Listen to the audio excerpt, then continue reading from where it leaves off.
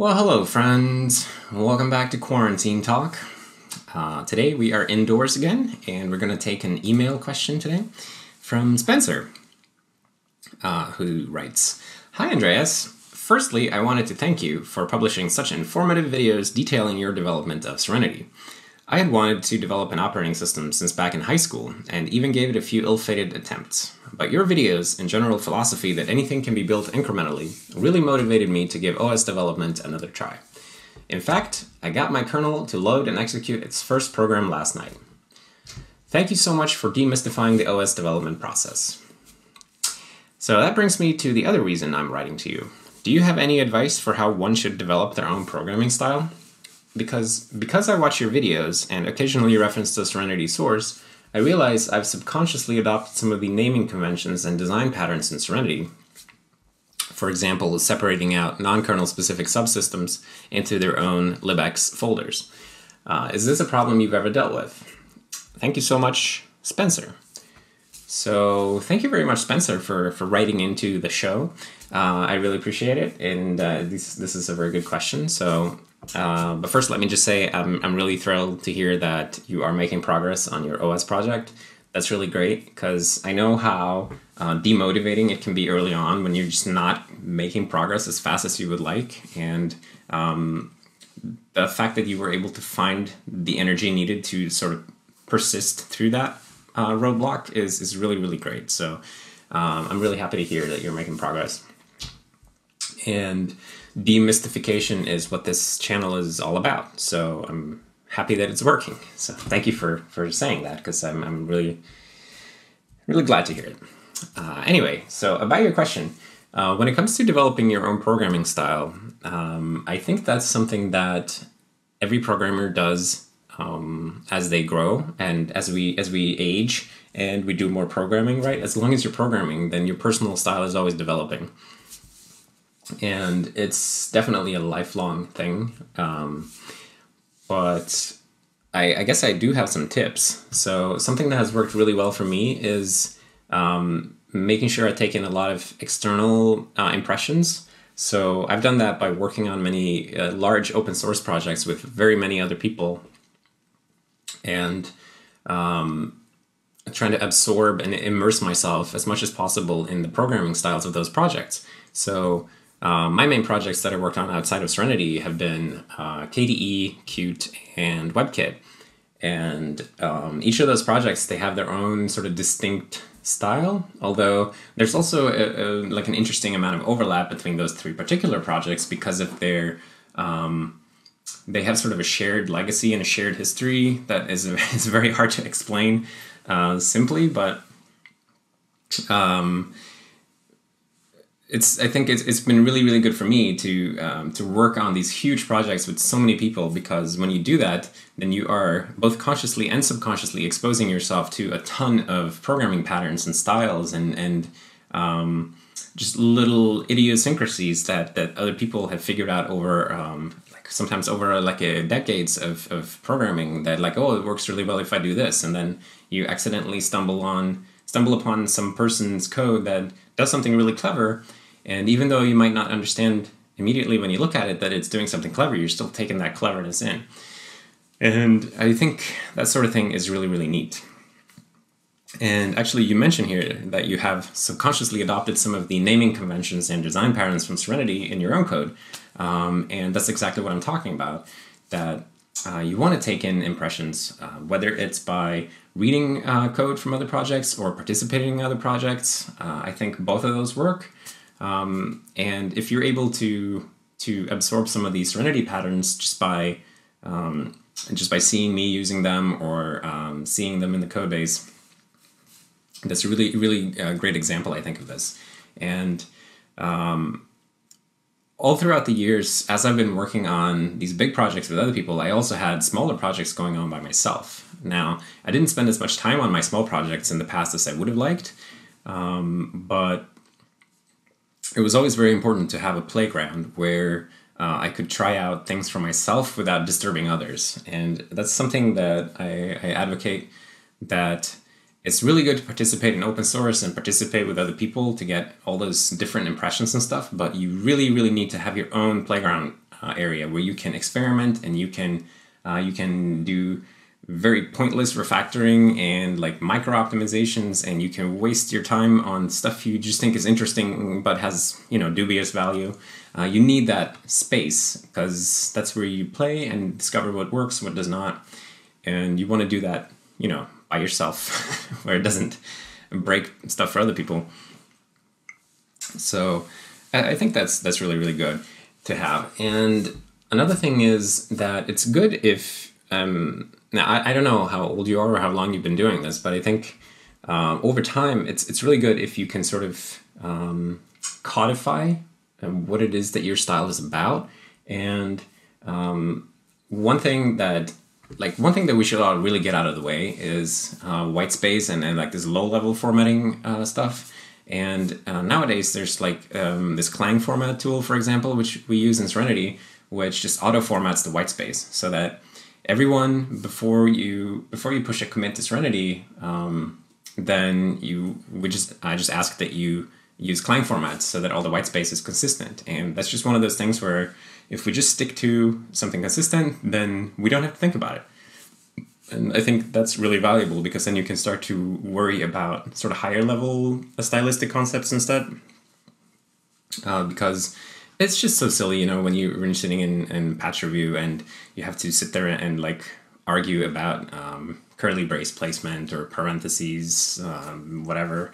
Um, just get rid of all that by using automatic formatting and graduate to higher level stuff. And um, for instance, you mentioned naming conventions. So in Serenity, uh, I I've taken from the WebKit project and from Qt and I guess from KDE as well, really. Uh, all of them, they sort of have this um, very expressive, write in English, um, verbose names. Like they're not afraid to have long identifier names, long function names. And, and I think that's really, really valuable because, um, you know, you write the code once, but you're going to read it hundreds of times uh, if it's uh, any good, because then it'll stick around and, and um, you won't regret spending a few extra seconds coming up with a long name. Um, that makes it easier to read and understand the code in the future, and especially if you're working together with others, because then they have a chance of understanding the code much faster as well. So, um, when I said like it's really good to codify what it is that you're trying to do, and what I mean by that is, for instance, here in the Serenity project, we have the contributing uh, contribution policy or whatever, and um, where I try to write down like please do these things, please don't do these things, um, and the the most important things I think here are um, this one write an idiomatic Serenity C++. So uh, I ask everyone who works on the project to write in the idiomatic C++ style of the project, and if you are a you know a competent C++ developer, you'll you'll understand the style as you work on the project, and you'll sort of take it in and um, learn how to use it. And this is, if, if you don't know how to do this when you start, you'll learn it as you go because you just try to write code that fits in, if that makes sense. Uh, that's a very good skill, and I think it's absolutely necessary when you when you have ambitions to to write something large and that needs to be worked on by many people. You really want to uh, settle on what is idiomatic project, um, what is the idiomatic project language, and likewise here, uh, choose expressive variable functions and class names. Make it as obvious as possible what the code is doing. And this is also really important, and I already mentioned it, but um, I really, really believe that you can save so much time and effort if you express yourself extremely clearly and you're not afraid to be, uh, you know, verbose and precise with um, identifiers. And of course, uh, it's it's always I think it's always better to be um, expressive than it is to be clever uh, and um, but but like this this isn't really this question the question was not about what is my programming style. It was more about like how to develop your own style. So I'm, I'm actually I'm just gonna um, stop talking about what my style is and, and talk about uh, the meta game I guess of programming style. So um, the important thing is to expose yourself to different programming styles because then you can pick and choose what you like. If you limit yourself to working by yourself or only in small teams, then you will have a much much um, smaller data set to to uh, pick pick and choose from, right? And you wanna you wanna have a big data set. Um, and then I think it's it's important to stick to it. And very often, if I want to, if I find some new pattern of code that I think, oh, this is pretty neat, uh, I'd like to, uh, I, I, maybe I would like to use that for myself. Then I very often um, just set aside some time to write out some new class or some new piece of code or something in that style, just to see how I feel while typing it, while typing that way. Because at first, uh, I've, I've realized over the years that at, the first, whenever I try to adopt some new style of doing things, it always feels wrong at first. And I need to spend, you know, maybe 10, 15, 20 minutes writing in a certain style before I know if I like it or not. So that's why again it's good to have those playground projects where you can you can do little things like that and um, and it, it doesn't feel like wasted time. Uh, anyway, I'm, I'm kind of running all over the place here, but but really, uh, I guess my advice is to work on stuff with other people, ex- read code, expose yourself to a lot of different things, have a place to experiment, and in your own project where you are the king, queen, and uh, all of the above and below, and um, likewise try to figure out what your style really is and try to write it down. Uh, write a white space. Um, use something like Clang format to organize your white space and set up like I have in my text editor that I use in Qt Creator. I have a key combination. I press Alt Shift F and it auto formats the current file. Set something like that up. Auto format your stuff. Never think about it again. Just because um, over time, when I've been using that, I just learned how to format it the way the formatter would do it anyway. Um, and then um, try to figure out what are your sort of rules and see if you can write them down. Like, what are your patterns? Uh, can you articulate them? Uh, and it's okay if you can't, but um, as you as you work on your code, try to stick to your own patterns. Um, try to st- stick to your own style and, and see how it develops. Um, anyway, I like the question, but I, I feel like I feel like I'm, I'm a little bit like um, hazy on how to answer it because it's uh, maybe I'm not super exactly sure how I think about this, but I, I appreciate the chance to think out loud about it, and I hope that you will find your style as well. And everybody is obviously welcome to adopt the Serenity uh, style, and or at least pick and, and choose the things you like from it, and pick and choose the things you like from other places. That that I think is the best for everybody. Uh, anyway, thank you, Spencer, for writing in with this really nice question. And um, big, uh, big good luck with um, continuing on your OS project. Um, that's really sweet.